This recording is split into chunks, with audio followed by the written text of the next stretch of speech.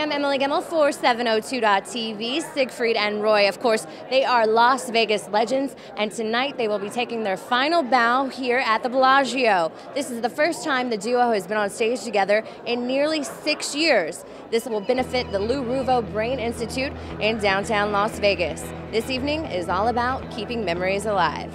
What brings you to tonight's event? Larry Ruvo. Uh, I helped get this organization going several years back, and the fact that through what Larry Ruvo is doing for his dad, Lou Ruvo, they're able to eradicate Alzheimer's disease within five years. That's what I feel. These are generous people, and the fact that Siegfried and Roy are here tonight really does speak to their generosity of spirit. They've always had a lot of class and a lot of panache and a lot and a flair for the uh, pageantry, you know, pageantry.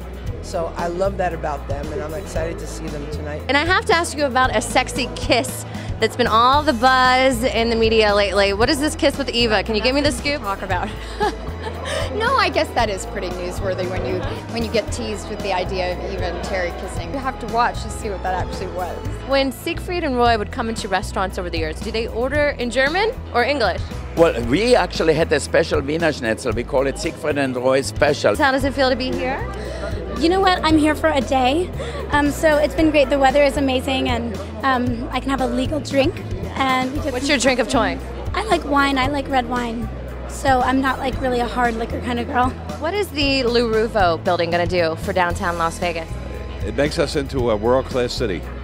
We're now in the major leagues. Well, the dream is uh, finding a cure for the for the diseases, and I, we're that much closer tonight because of the amazing support. Look at this community uh, coming out it's just unbelievable. What did the guys do to get ready for this evening? That Siegfried and Roy were born ready. You know, uh, at the end of the day, uh, you don't really need to get ready to do what you love and what you have great passion for. It's all about taking the human spirit to the highest level and overcoming adversity.